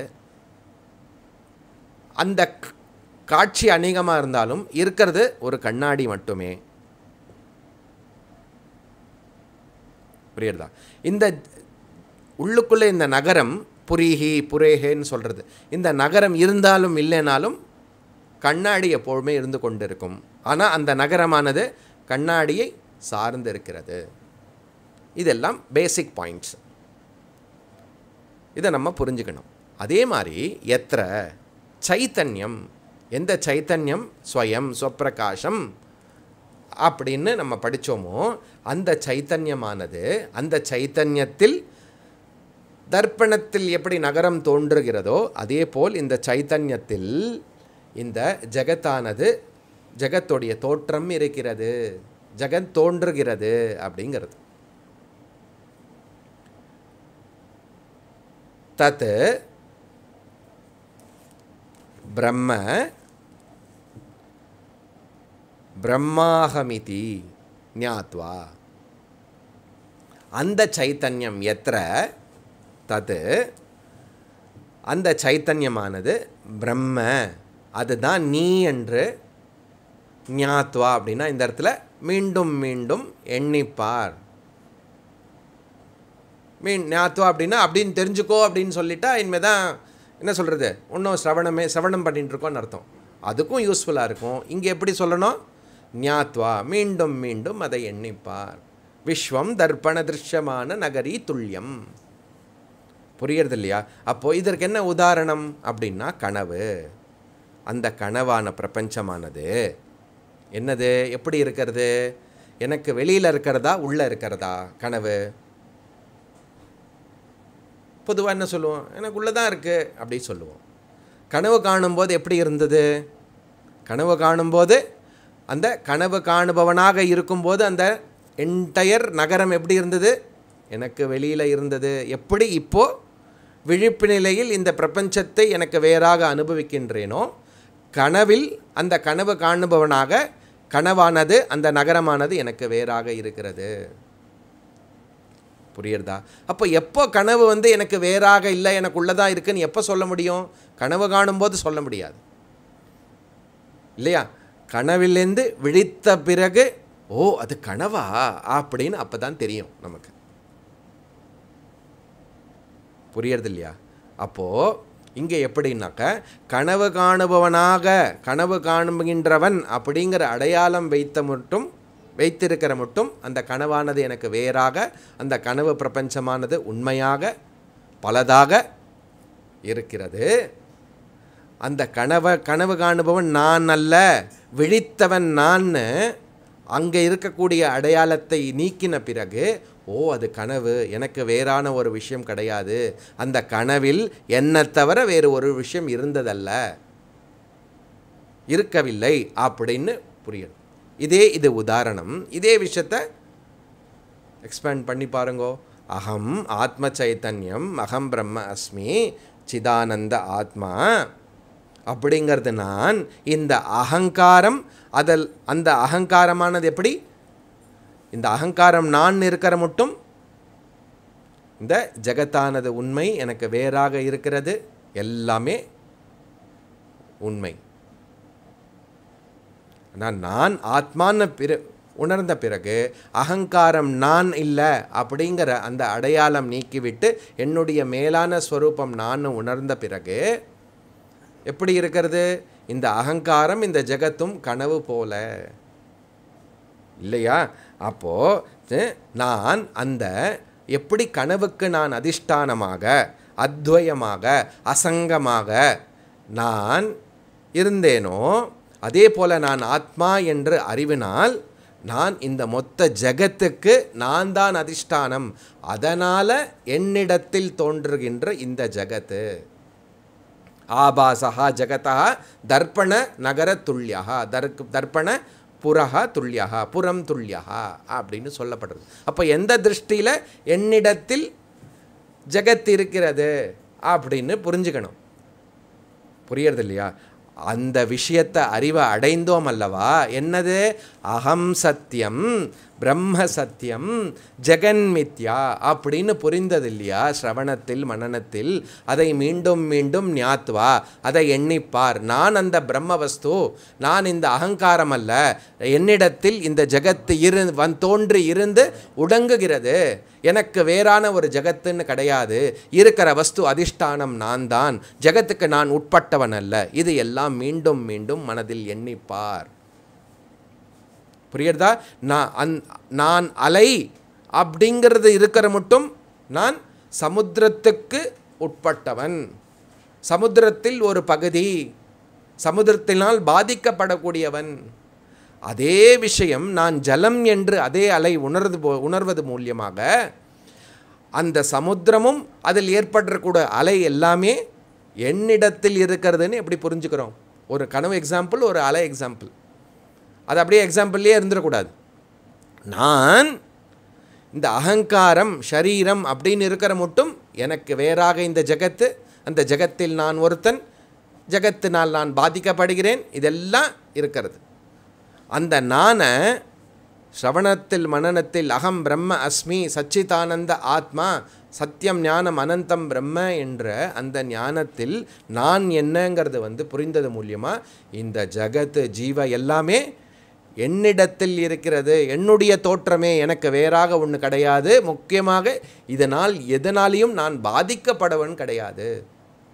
அப்போ பல பல மனசு பலசாக எல்லாம் எல்லாம் டிஃப்ரெண்ட் டிஃப்ரெண்ட்டாக இருக்குது அப்படின்னா இது எல்லாமே பிரதிபலிப்பு.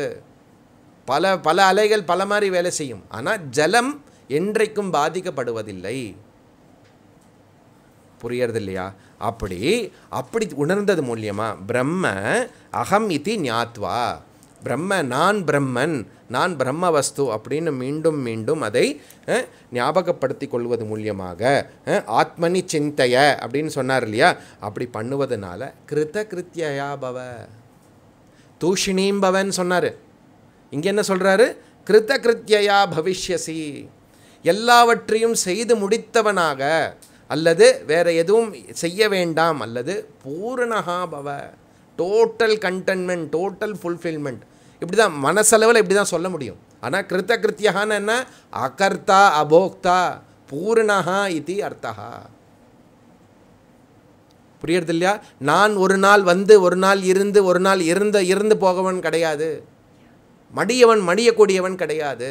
என்றைக்கும் இருக்கக்கூடிய பல சரீரங்கள் பல மனதுகள் என்னிடத்தில் தோன்றி இருந்து மறையக்கூடிய விஷயம். நான் என்றைக்கும் எப்பொழுதும் நிர்குண பிரம்ம சைத்தன்யமாக இருக்கக்கூடியவன். அதனால் பூர்ணகா அனந்தகா அதனால் கிருத்த கிருத்தியகா பவ நான் எதுவும் செய்வதும் இல்லை செய்விப்பதும் இல்லை. செயலுக்கு காரணமாகவும் நான் கிடையாது. சத்தியம் ஞானம் அனந்தம் அகம் இதி. இரநூத்தி தொண்ணூற்றி ரெண்டு.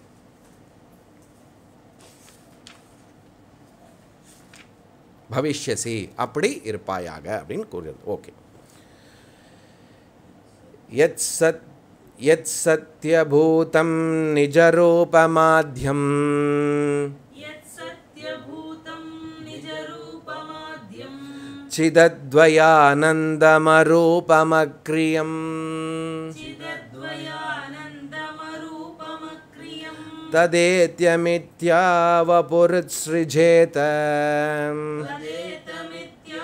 तदेतमित्यावपुरुसृजेत शैलूषवेद्वशमुपात्तमात्मनः शैलूषवद्वेषमुपात्तमात्मनः ஷைலூஷ ஸ்டைலாக சொல்கிறாரா அப்படி இல்லை ஷைலூஷன்னா ஒரு அழகான அர்த்தம் இருக்குது பார்க்கலாம் சரி அப்போ என்ன ஆகிறது அப்போ நான்கிற அடையாளம் அகங்காரம் அல்ல அப்படிங்கிறதுலேருந்து அகம் பிரம்ம அப்படிங்கிற ஊர்ஜிதமான தார்டியமான அறிவினால் என்ன ஆகிறது?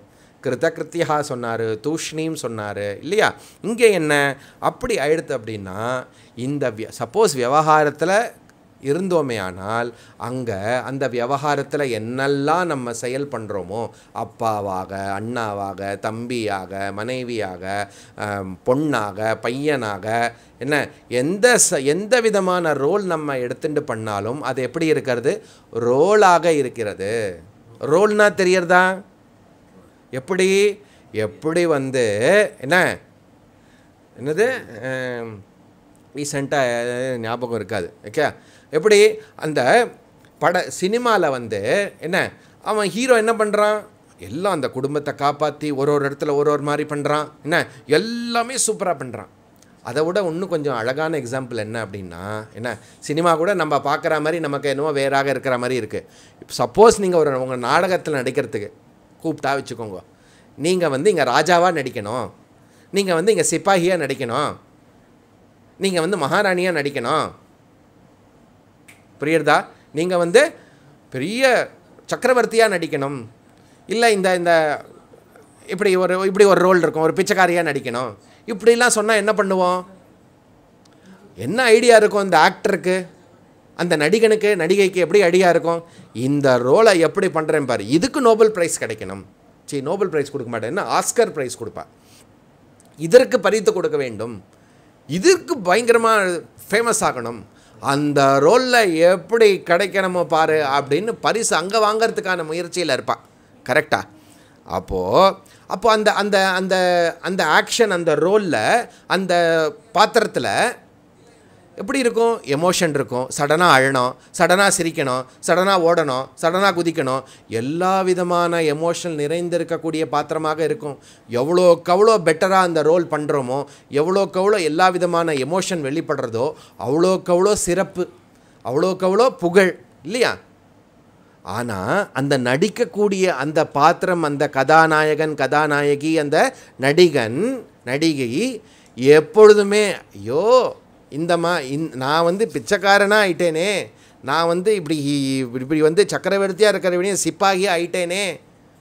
அப்படின்னு அந்த ரோல்குள்ளே போய் அந்த பாத்திரத்துக்குள்ளே போய் நான் தான் அந்த பாத்திரங்கிற அசம்ஷன் அல்லது கன்க்ளூஷன் எப்பொழுதுமே ஏற்படாது. அதனால் நல்லா நடிக்க முடியறது அதற்கு பேர் நடிப்புன்னு பேர். அது எப்போவுமே அந்த பாத்திரமானது உண்மையாக விடவில்லை. புரியுறதா எல்லா விதமான பர்சனாலிட்டி எல்லா விதமான ரோல்ஸ் அது எமோஷன் நிஜ வாழ்க்கையிலையும் என்னதான் நம்ம வந்து எந்த சூழ்நிலையில் எப்படிப்பட்ட ரோல் ஏற்பட்டாலும் நமக்கு அது எப்படி இருக்கிறது நமக்கு? அது வந்து ஒரு கதாபாத்திரமாக நாடகமாக இருக்கிறது. எந்த திருஷ்டியில்? இப்போ நான் பண்ணுறது எல்லாமே நாடகம் நாடகம் அப்படின்னு பண்ணுறதில்ல எப்போ அது நாட்டகமாக இருக்கிறது? எப்போ நான் அகங்காரம் இல்லை நான் பிரம்மவஸ்து ஆத்மான்னு உணர்ந்த பிறகு. அதனால் தது ஏத்திய. தது ஏத்தியன்னா எப்படி வந்து ராமனும் ராவணனும் அந்த நாடகத்தில் அடிச்சுண்டு பிடிச்சிண்டு கத்தியால் வெட்டிண்டு எல்லாம் பண்ணிண்டு கிரீம் ரூன் வந்து ஏ எப்படி ஒன்று மடக்கினேன் பற்றியா அந்த இடத்துல? ராமனும் ராமனும் கோல் தோல் போட்டுண்டு டீ குடிச்சுட்டு இருப்பான் இது காஃபி குடிக்கிறான்னு வச்சுக்கோமே. புரியுறதா? தது ஏத்திய. அப்படி என்னுடைய ஸ்வரூப ஸ்வரூப அனுசந்தானம்னு சொல்லப்படுறது. என்னுடைய ஸ்வரூபம் ஆத்மா என்று மீண்டும் மீண்டும் அதை கொண்டு வரது மூலியமாக. இல்லை அந்த நினைப்பில் நிஷ்டையாக எப்பொழுதுமே இருந்து கொண்டு நான் ஆத்மான்னு நினைத்துண்டு எல்லா விதமான அகங்காரம் எப்படி? நாட்டகா ஒன் நாட்டகா டூ நாட்டகா த்ரீ நாட்டகா என் டூ த்ரீ அப்படி போயின்னு இருக்கும் ஆனால் எந்த விதமான பாத்திரத்தினால் நான் பாதிக்கப்படுவதில்லை ஏனால் எந்த பாத்திரத்திலும் எந்த ரோல்லையும் நான் அடையாளம் கொள்ளவில்லை. அதில் நான் ஐடென்டிஃபிகேஷன் வைப்பதில்லை. ஏனால் அது அகங்காரம் அகங்கார சாட்சி பிரம்ம சைத்தன்யம் அகம் எப்படி? எது சத்தியபூதம் இல்லையா? அந்த அந்த நடிகனுக்கு என்ன தெரியும்? அகம். அகம் த கிரேட். நான் பெரிய நா நடிகன் அப்படின்னு நடிகனுக்கு தெரியும். அதனால் என்ன வேணால் பண்ணுவான். அதே மாதிரி அகம் சத்திய பிரம்ம வஸ்துன்னு தெரிந்துட்டால் எல்லா விதமான விஷயம் எப்படி இருக்கும்? நாடகமாக விளையாட்டாக இருக்கும். அதனால் நான் அஜஹா அமிர்தா நித்யா சத்தியபூதம் அப்படின்னா என்ன அர்த்தம்? நான் எப்பொழுதுமே மடியறதில்லை. ந மிருத்யுஹு அமிர்தா நித்யா எனக்கு பிறப்பும் இல்லை இறப்பும் இல்லை. யாரை பற்றி சொல்கிறேன் நீங்கள் எடுக்கிறீங்களே உங்களை பற்றி சொல்கிறீங்களா நம்மளை பற்றி என்னை பற்றி சொல்கிறேன் எல்லாரும் என்னை பற்றி சொல்லணும். ஏன்? நிஜரூபா என்னுடைய ஸ்வரூபம் அது. என்னுடைய ஸ்வரூபம் எப்படிப்பட்டது? சத்தியம் ஞானம் அனந்தம். ஆத்தியம் ஆதிரகிதம். தேச கால அபரிச்சின்னம் தேசத்துக்கும் காலத்துக்கும் உட்படாதது. ஏதஸ்மாத் ஆத்மனஹா ஆகாஷ சம்பூதா என்னிடத்திலிருந்து தான் தேசமும் காலமும் தோன்றியிருக்கிறது. ஜகதா ஆபாசா எத்திர போன ஸ்லோகத்தில் சொன்னார். அப்போ நான்கிறது வந்து என்ன? தேசம் அல்ல காலம் அல்ல என்ன? தேசத்துக்கு உட்படாத காலத்துக்கு உட்படாத எந்த விதமான வரையறைக்கு உட்படாத எந்த விதமான பிளவுக்கு உட்படாத எந்த விதமான இந்த லொக்கேஷன் இதெல்லாம் கிடையாது. எப்படிப்பட்ட நிர்குண ஸ்வரூபம் அகம் அதற்கு சின்ன உதாரணம் உபனிஷத் என்ன கொடுக்கறதுன்னா சுஷுப்தி அவஸ்தாவில் இருக்கிறது வந்து மோட்சத்துக்கு கூட ஒப்பிடுறது. அந்த பிரம்மஸ்வரூபத்தை கூட ஒப்பிடுறது சுஷுப்தி அவஸ்தா. அங்கே தேசம் கிடையாது காலம் கிடையாது பிளவு கிடையாது. புரியறது இல்லையா? அப்படிப்பட்ட ஆத்தியம் நிஜரூப சத்தியபூதம் அகம் ஆனந்த ஸ்வரூபா அளவற்றதுன்னு சொல்லிட்டா எப்படிப்பட்டது?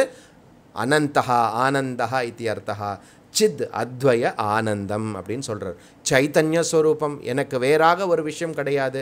அத்வைதா புரியுறதா அப்போது ஏத்திய இதை மீண்டும் மீண்டும் எண்ணிப்பார். இந்த அறிவை மீண்டும் மீண்டும் கொண்டு வந்து பார். மித்யாவபுகு உத்ஸ்ருஜேத. எதுக்கு ஆக்டர் பற்றி சொன்னேன் அப்படின்னா ஷைலு ஷவத்து. ஷைலூஷவத்து உபாத்தமம் வேஷம்.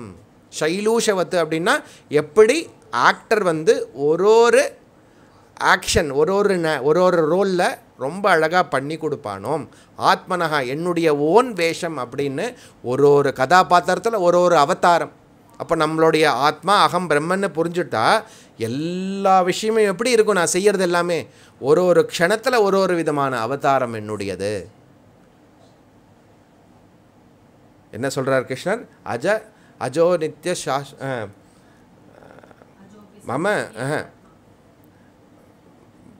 அழகாக வருது நாலாவது அத்தியாயத்தில்.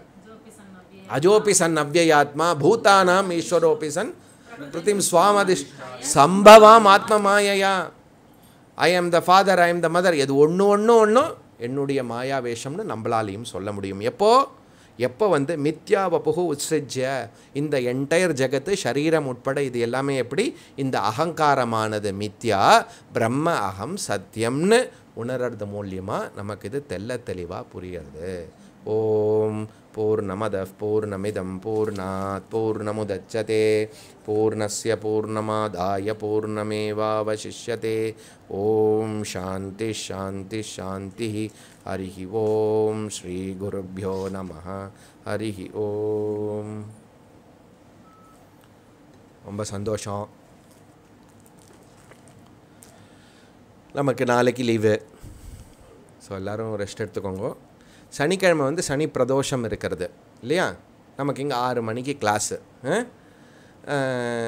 ஐ திங்க் நாலரை மணி அஞ்சு மணி வாக்கில் ஆரம்பித்து ஆறு மணிக்குள்ளே பிரதோஷம் முடியறது. நான் வேணால் சிக்ஸ் ஃபிஃப்டீன் ஆறுலேருந்து ஆறே காலுக்கு யூஸ்வலாக இந்த ஸ்லோகம் பாராயணம் பண்ணிவிட்டு எல்லாருடைய கன்வீனியன்ஸுக்காக ஆறே காலுக்கு சதாசிவ சமாரம்பம் சொல்கிற மாதிரி கிளாஸ் ஆரம்பிக்கிற மாதிரி அன்றைக்கி மட்டும் பண்ணுறேன் ஆனால் ஆறு மணிக்கு நம்ம அஞ்சு மு- அந்த லைவ் வந்துடுவோம் அன்றைக்கி பல ஸ்தோத்திரங்கள் சொல்லலாம். சொல்லிவிட்டு எல்லோரும் அந்த ஆரத்தி பார்த்துட்டு டக்குன்னு பிரதோஷத்துலேருந்து இந்த கிளாஸுக்கு வரத்துக்கு இடைஞ்சல் இல்லாமல் கொஞ்சம் ஒரு எக்ஸ்ட்ரா அவகாசம் இருக்கிறது. அதனால் அன்றைக்கி சாட்டர்டே அன்னைக்கு வைராக்கிய சதகம் இரண்டாம் கிளாஸு சாயந்தரம் ஆறு மணிக்கு இருக்கும். நாளைக்கு லீவு அப்புறம் வந்து நம்ம எல்லாரும் கந்த சஷ்டி சொல்லியிருப்போம். இந்த விஷயம் எல்லாம் தெரிஞ்சிருக்கும் எல்லாருக்குமே. அந்த கந்த சஷ்டி நம்ம எல்லாரும் ஒன்றிணை ஒன்றிணைந்து எல் ட்ரா- ஒன்றிணைந்து தேங்க்யூ ஒன்றிணைந்து நல்ல பிரார்த்தனை பண்ணி எல்லாம் பண்ணதுனால என்ன? சாயந்தரம் அஞ்சரை அஞ்சுலேருந்து ஆறு மணிக்கு ரெண்டு மூணு வாட்டி கந்த சஷ்டி கவச்சம் சொல்லி வாட்ஸ்அப்பில் மெசேஜ் வருது. அவரே வந்து யார்? புத்தி பேதலைத்து போய் அறிவு ஹீனமாக போய் தப்பு தப்பாக வளரினாரோ அவரே வந்து சர சரணடைந்துட்டார் அப்படின்னு. அதனால் தெய்வ சக்தி சனாதன தர்ம சக்தி அது எப்படிப்பட்டது? எதனாலையும் அதை அழிக்க முடியாது. புரியுறது இல்லையா? அதை மனதில் கொண்டு நம்மளுடைய அனுஷ்டானத்தை எந்த சம்பிரதாயத்தில் எந்த விதத்தில் எந்த குடும்பத்தில் நம்ம எப்படி பண்ணிட்டு இருக்கோமோ அதை இன்னும் தீவிரமாக படுத்தி ஈஸ்வர பக்தியை திருடப்படுத்தது மூலியமாக தான் தர்மோ ரக்ஷதி ரக்ஷிதா. இதை நம்ம மறந்துடவே கூடாது. தர்மம் இல்லைன்னா இந்த இந்த இடத்துக்கு இந்த கிளாஸுக்கு இந்த படிப்புக்கு எதற்குமே நம்மளால் தகுதி கொள்ள முடியாது. அது மட்டும் இல்லை நம்மளுடைய டோட்டல் ஹார்மனி யூனிவர்சல் ஹார்மனி வந்து நம்மளுடைய அனுஷ்டானத்திலையும் நம்மளுடைய தர்மத்திலையும் டிபெண்ட் ஆகிருக்கிறது ஒவ்வொருத்தரோடது தான் டோட்டல் ஹார்மனி ஏற்படுறது. அதெல்லாம் நீங்கள் நன்னா பண்ணின்றக்கேல் இன்னும் இந்த மாதிரி யாராவது இந்த மாதிரி பரித்ராணாய சாதுனாம் வினாஷாயத்தை துஷ்கிருதாம். அப்படியே மனுஷனே அடித்து கொள்றதில்ல அவனுடைய துர்புத்தியை நீக்கிறது தான் முக்கியமாக எம்ஃபசைஸ் பண்ணப்படுறதாங்க. அப்படி நம்மளுடைய தர்மத்துடைய பலத்தினால யாரெல்லாம் துர்புத்தி கொண்டு இப்படி தவறாக தன்னுடைய உபாதியை யூஸ் பண்ணிக்கிறாளோ அவளுக்கு இது நன்மையை போய் சேரணும் அப்படிங்கிற நம்மளுடைய பிரார்த்தனையோட அதே நேரத்தில் சனாதன தர்மமானது ஓங்கி இருக்கணும் அப்படின்னு சொல்லி நம்ம தொடர்ந்து இந்த பிரார்த்தனை பண்ணிப்போம். உங்களுக்கு இப்போ புரிஞ்சிருக்கும். உங்களுக்கு ஆல்ரெடி தெரியும். இருந்தாலும் கூட்டு பிரார்த்தனை. எவ்வளோ பேர் உலகம் முழுக்க இன்றைக்கி சஷ்டி சொல்லியிருப்பா அப்படின்னு. அதனால் நல்ல நிகழ்வானது அமைந்திருக்கிறது. அது அப்படியே தொடரும்.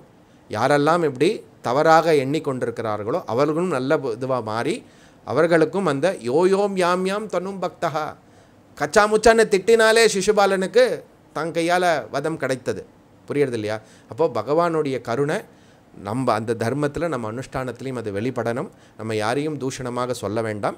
இது எல்லாமே நல்லபடியாக இருக்கிறதுன்னு நம்ம புரிஞ்சுண்டு மீண்டும் நம்ம ரெகுலர் பிரார்த்தனையில் இந்த விஷயத்தையும் சேர்த்து பிரார்த்தனை பண்ணிப்போம். லோகா சமஸ்தா சுக்கினு பவந்துன்னா இது எல்லாமே இன்க்ளூடடு என்ன அதனால் நாளைக்கு ஓய்வு எடுத்துட்டு சனிக்கிழமை அன்றைக்கி நம்ம பிரார்த்தனை கிளாஸுக்கு வருவோம். பிரார்த்தனை பண்ணிட்டு இப்போ கிளம்பலாம். நிறைய பேருக்கு இன்றைக்கி வந்து ஒரு லாட்டு வந்து கொரியர் வந்து பண்ணியிருக்கிறது. ப்ரொஃபஷனல் கொரியர்ஸில் உங்களுக்கு வரும். என்ன? ஆல்ரெடி சில பேர் கிடச்சிருக்கு. இன்னும் சில பேருக்கு அது வரும்.